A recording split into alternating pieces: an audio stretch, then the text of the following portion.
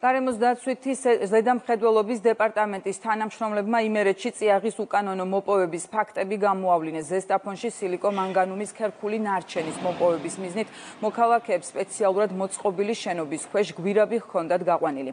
მიმდებარე ტერიტორიაზე აღმოაჩინეს 0.6 ტონა უკანონოდ მოპოვებული წი და ასევე აღმოჩენილია ეგრეთ წოდებული ჩამბარებელი პუნქტი, სადაც დასაწყობებული იყო 24 ტონა უკანონოდ მოპოვებული სილიკო-მანგანუმის ქერქული ნარჩენი.